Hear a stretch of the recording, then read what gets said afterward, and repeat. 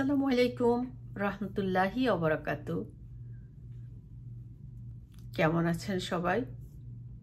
আশা করি সবাই ভালো আছেন। আলহামদুলিল্লাহ, আমরা সবাই ভালো আছি। আজ আমি আপনাদের সঙ্গে শেয়ার করব রমাদান সম্পর্কে কিছু কথা। কোরআন, হাদিস এবং স্কলারদের বয়ান থেকে যেটা আমি শিখেছি, জেনেছি, আমি সেটাই আপনাদের সঙ্গে শেয়ার করব।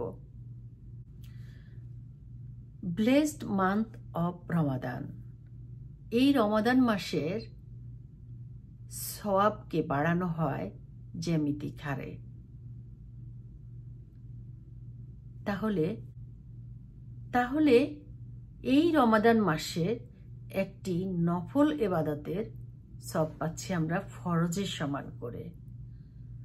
আর ফরজের যে এবাদত আমরা করব, যে ফরজ এবাদতের সব হবে সত্তর থেকে সাতশো গুণ উপরে। সোভান আল্লাহ এবং এই রমাদান মাসে যিনি ওমরাহ পালন করবেন যার তৌফিক আছে, যিনি ওমরাহ পালন করবেন ওনার সব হবে ফরজ হজের সমান।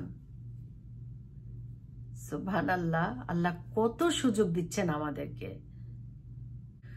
তাহলে অন্যান্য মাসের আমরা যে এবাদত করি, সে এবাদতের আমরা সব পাই গণনা করে মানে গাণিতিক হারে। আর রমাদান মাসে যে ইবাদত আমরা করি, আমরা ওই ইবাদতের সব পাব জ্যামিতিক হারে।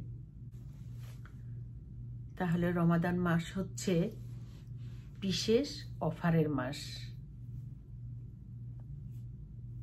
মান্থ অফ স্পেশাল অফার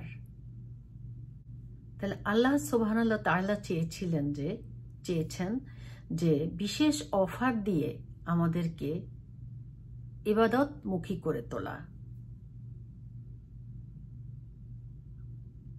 এবং আমাদেরকে পাপ মুক্ত করে দিয়ে পাপ মুক্ত বান্দা হিসেবে স্বীকৃতি দেওয়া। সুবাহ আল্লাহ আল্লাহ আমাদেরকে সেই তাফিক দান করুন।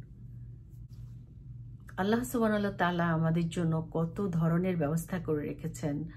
আমরা যেন সঠিক পথে চলতে পারি। আমাদেরকে সব ব্যবস্থাই করে রেখেছেন।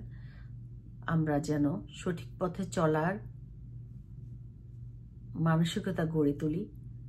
তো চলুন, আমরা চেষ্টা করি। আমরা দোয়া করি সবাই সবার জন্য। আমরা এই মাসটাকে আমরা কাজে লাগাই এবং এই মাসটাকে কাজে লাগাবো পরে না, তা নয়। আমরা এই মাসে যে প্র্যাকটিসটা করব, আমরা যেন কন্টিনিউ করতে পারি, আমরা যেন সঠিকভাবে চলতে পারি, আল্লাহ যেন আমাদেরকে সেই তাফিক দান করেন। দোয়া করবেন যেন আবারও ভালো কোনো টপিকস নিয়ে আসতে পারি। আজকের মতো আল্লাহ হাফেজ।